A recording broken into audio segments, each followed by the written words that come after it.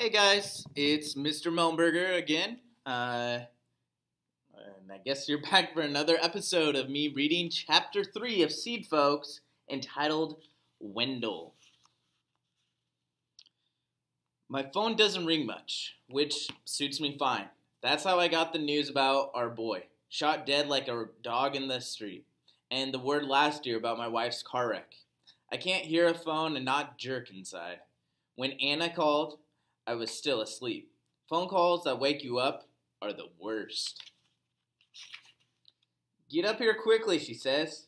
I live on the ground floor and watch out for her a little. We're the only white people left in the building. I ran up the stairs. I could tell it was serious. I prayed I wouldn't find her dead. When I got there, she looked perfectly fine.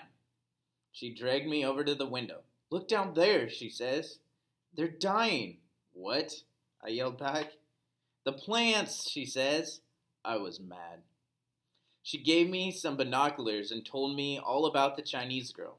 I found the plants and got them in focus. There were four of them in a row, still little. They were wilted, leaves flopped flat on the ground. What are they? she asked. Some kinds of beans. I grew up on a little farm in Kentucky, but she planted them way too early. She's lucky these seeds even came up. But they did, said Anna, and it's up to us to save them. It was a weekend in May and hot. You'd have thought that those beans were hers. They needed water, especially in the heat. She said the girl hadn't come in four days, sick, probably, or gone out of town. Anna had twisted her ankle and couldn't manage the stairs. She pointed to a pitcher. Fill that up and soak 'em good. Quick now. School janitors take too much bossing all week to listen to an extra helping on weekends. I stared at her uh, one long moment, then took my time about uh, filling the pitcher. I walked down the stairs and into the lot and found the girl's plants. You don't plant beans till the weather's hot. Then I saw what had kept her seeds from freezing. The refrigerator in front of them had become the sunlight, uh, bounced the sunlight back onto the soil, heating it up like an oven. I bent down and gave the dirt a feel. It was hard packed and light colored. I studied the plants, leaves shaped like spades in the deck of cards. Definitely beans. I scraped up a ring of dirt around the first plant to hold the water and any rain that fell. I picked up the pitcher and poured the water slowly. Then I heard something move and spun around. The girl was there, stone still, ten feet away, holding her own water jug. She hadn't seen me behind the refrigerator. She looked afraid for her life. Maybe she thought I'd jump, I'd jump up and grab her. I gave her a smile and showed her that I was just giving her plant some water. This made her eyes go even bigger.